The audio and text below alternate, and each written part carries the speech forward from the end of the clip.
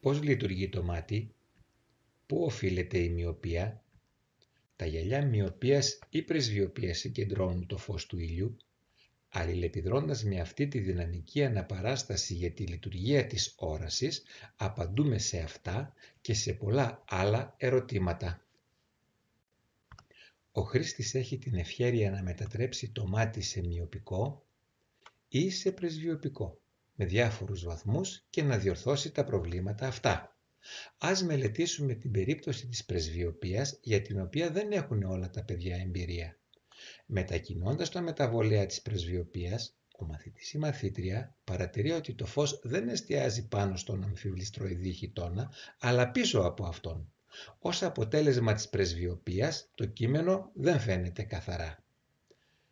Για τη διόρθωση της πρεσβειοπίας, οι μαθητές ή οι μαθήτριες επιλέγουν την προσθήκη γελιών.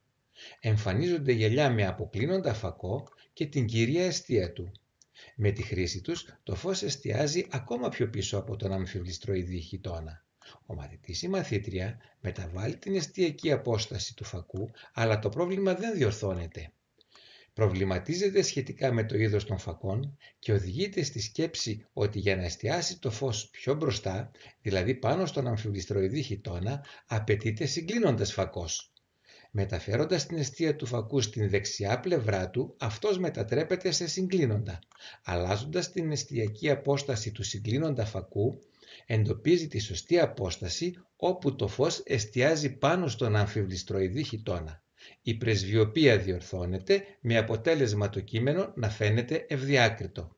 Στο φωτόδενδρο και στη συλλογή της φυσικής υπάρχουν διαδραστικά μαθησιακά αντικείμενα για ποικιλία θεμάτων.